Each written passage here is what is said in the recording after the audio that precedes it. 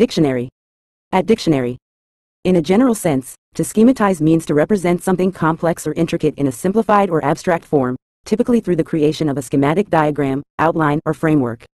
This process involves distilling the essential elements, relationships, and patterns of the subject matter, while omitting extraneous details or nuances.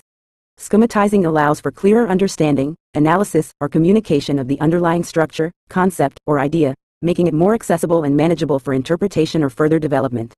It is a common approach used across various disciplines, including education, science, art, and problem solving, to facilitate comprehension, planning, or visualization of complex phenomena or systems.